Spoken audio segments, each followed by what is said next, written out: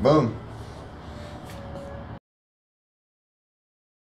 What's up, everybody? I'm Luke Heights, all the way from Santa Barbara, California. That's right. I'm all the way out here this weekend for the Santa Cruz Maniacs Big Ride. And today I am with Rex Stephens from Santa Barbara Cruisers. He does custom bikes, customization of bike parts. Yeah. And he was uh, nice enough to extend an invitation to me to come out and talk to him. But before I ask him the first question, I want to say thank you to all of the followers everyone out there that's hitting that like button. Keep hitting that like button. We're going to spread bicycle awareness one person at a time. And follow because it makes you feel good. Uh. Okay, so with that said, Rex, tell us a little bit about who you are, where you're from, and how you ended up here in, in Santa Barbara.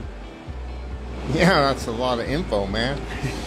uh, so yeah, I came to Santa Barbara in 1983 uh, from Northern California. Uh, worked as a, uh, a, a laborer, construction laborer, where I eventually made my way up to uh, being a framer, then into a shop, and then a cabinet maker, and then I had my own shop making cabinets and furniture for probably 20 years or so. Um, the whole time I was uh, in, had a professional racing career, both both BMX and downhill bikes in the early early days of downhill. Uh, I'm talking, you know, the early 90s, the glory days of downhill, and uh, worked in a couple bike shops. Uh, always been a builder my whole life, and uh, I was following a niche market, um, which is the uh, what, what, we refer to as the three-bar loop tail. And uh, you know, I thought there was room for one of those bikes in the market. And when we had our economic crash 2006 2007 in that way i switched over from making uh, furniture to uh, making bikes. I had some welding experience but not not not at the not at the level it is right now. Um, so yeah just over the years i, I uh, uh slowly, slowly started honing my skills.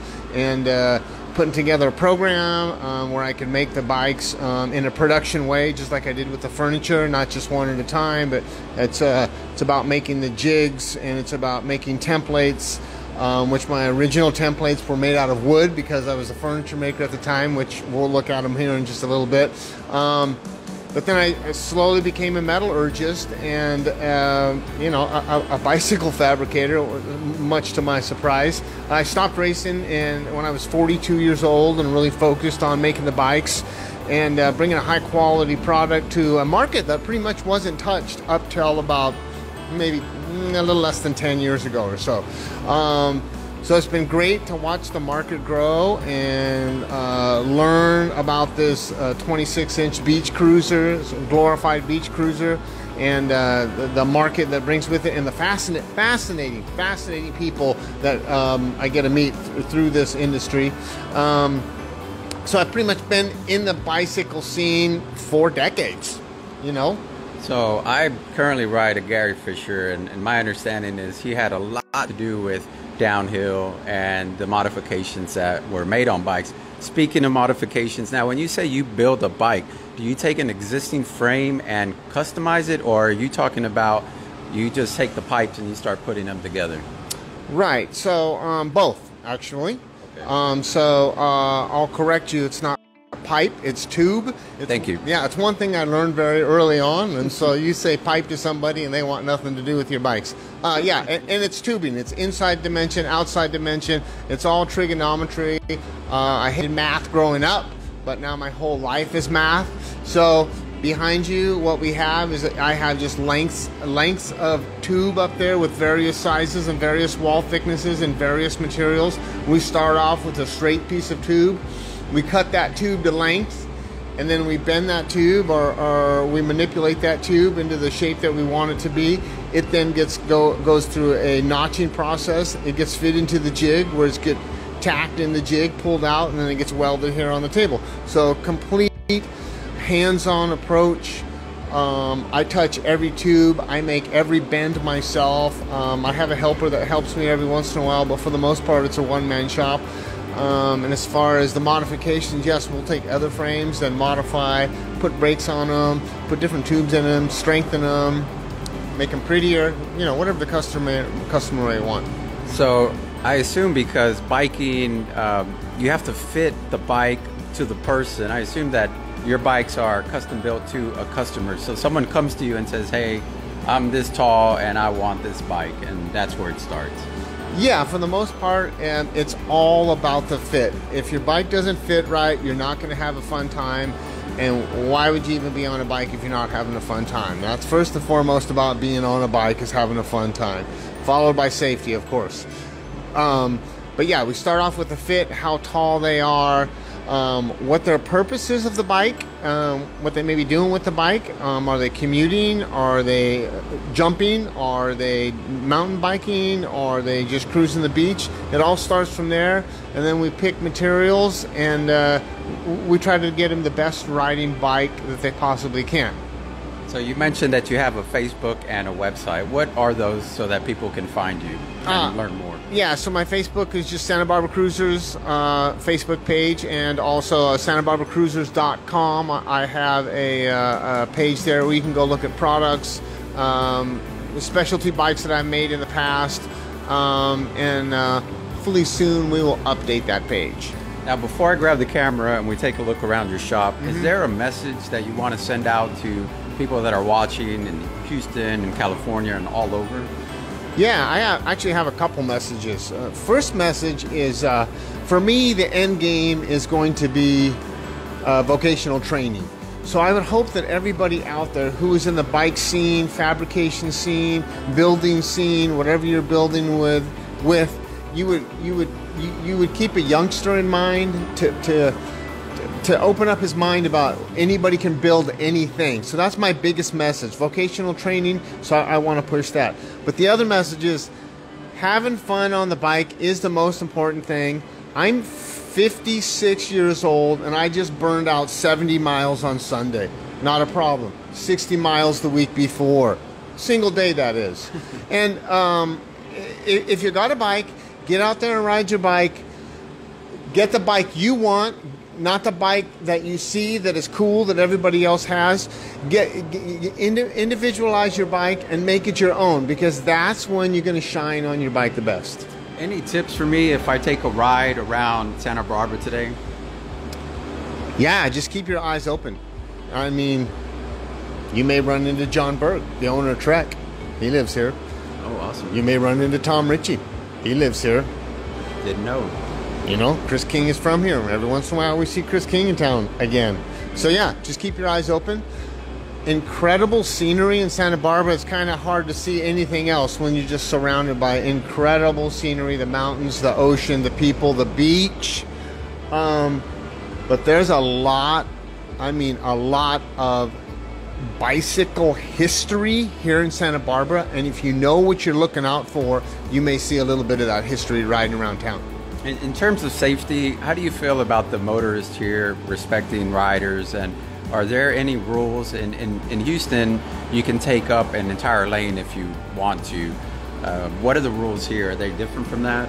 Um, Three feet from for a car. Yeah, it pretty much runs parallel. I, I, I'm I, I'm always advocating safety. Um, not just for the cyclists to be safe, safe, but the motorists to be safe the motorcycles to be safe. Don't be in such a big hurry to get everywhere, even on your bike. If everybody just respects everybody just a little bit, it, will be fine. But uh, it, it, it is about the safety, being aware. You can't always go 100 miles an hour, um, even though we all we all want to go 100 miles an hour. Um, just just just be safe and aware of your surrounding. That's what's going to keep you. Um, that's what's going to keep you alive. And be a follower. Do not be uh, uh, be a leader. Do not be a follower. Um, because uh, you know it's all about being the leader and and encouraging that next generation. So this is my first time in Santa Barbara. Are there bike lanes here? There are bike lanes. Um, uh, Bici Centro, uh, Coast, SB Bike. Um, they've been working hard advocating for bike lanes here in Santa Barbara, and we're so uh, grateful uh, to have the staff that works directly with the city and and you know bring us bike lanes right down the middle of the road, uh, which is uh, which is great. And again, we're just uh, working on the safety issue of it. any other shout outs or recognition you want to give to anyone, any of the street riders or crews that are out there that you might know of? Yeah, all of them. You know, uh, a big shout out to the Goodland guys, the 805 Chromies, the Legends, the SC Familia.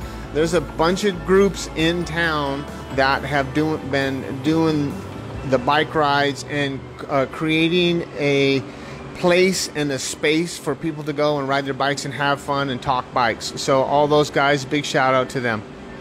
Great. I got some stickers for you. Um, here's one, and I have a different one of a different style, probably in my bag that I'll give you in just a minute. If you hold this, I'm going to grab the camera and you can show me some of the stuff and Sure. just keep that about four inches from me. Yep.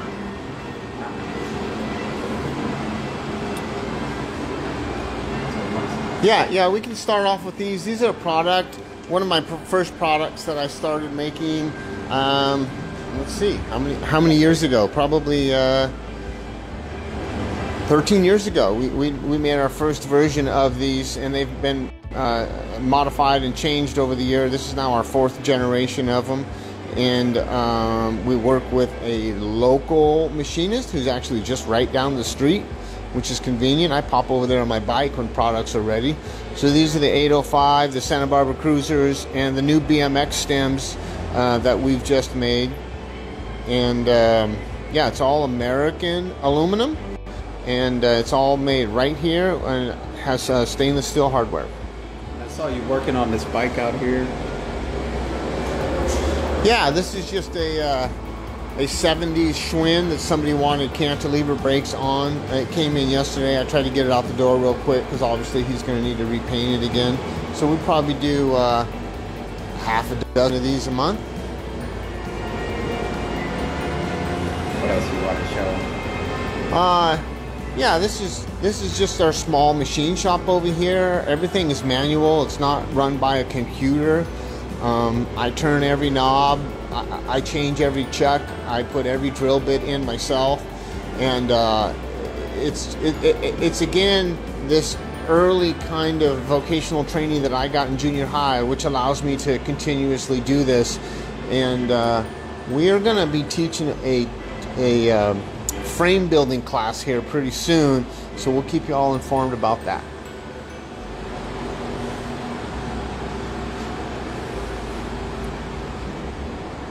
This is uh, the mechanics room, basically.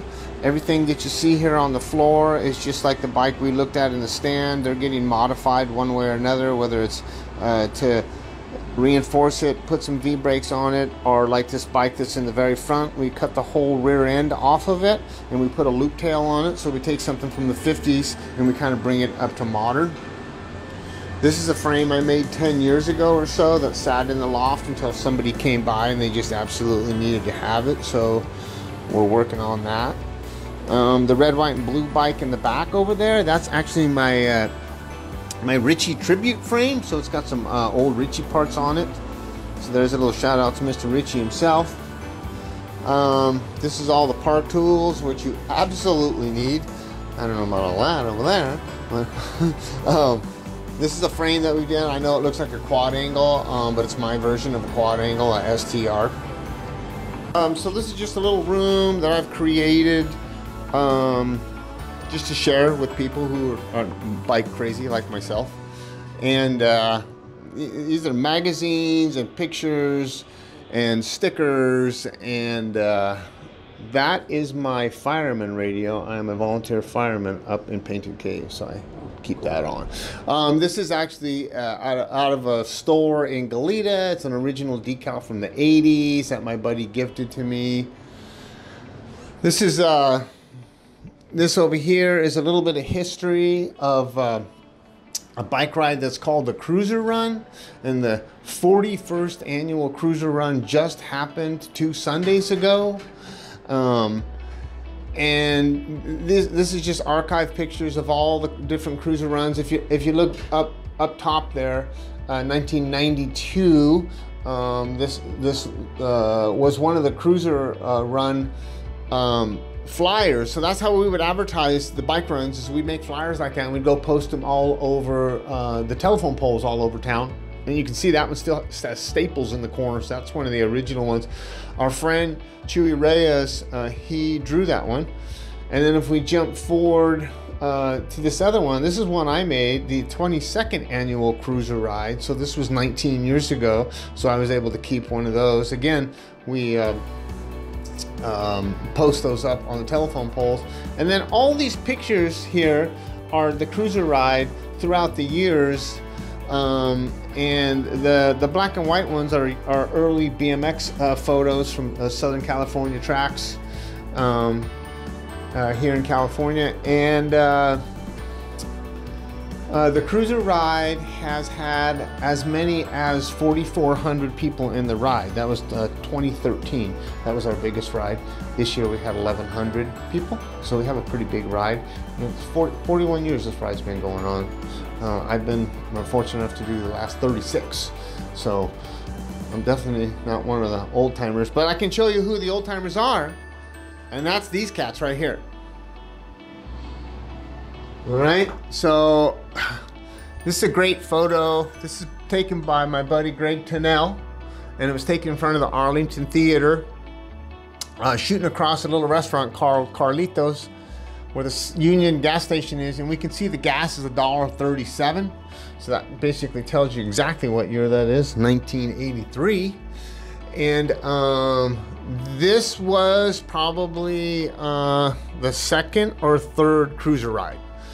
And so uh, if we go across from right to left, uh, this cat's name here is uh, um, uh, uh, Raleigh, and then there's Bill Carson. There's Richie Sandoval. Richie Richie is uh, still riding that bike right there. Um, there's Chili right there. Sergio, he's still in town. there's Dale, don't know his last name. Joe Ramirez right there. Uh, that's Bobby Yards, and this cat's name is Dale too. Now I've been fortunate enough that Joe's come over to my shop and signed this poster. This is a pretty iconic wheelie poster here. This is one of the uh, Cruiser Run t-shirts from 2017. I'm gifting this to Luke. Um, what started off as one sponsor from the community supporting the King of the Cruisers show that Santa Barbara Cruisers would host, it turned into this many sponsors. All these sponsors are local businesses here in Santa Barbara, and they not only believe in the power of bicycles, but they believe in the power of supporting their neighbors. So I just want to give a shout out to all these sponsors who, who have supported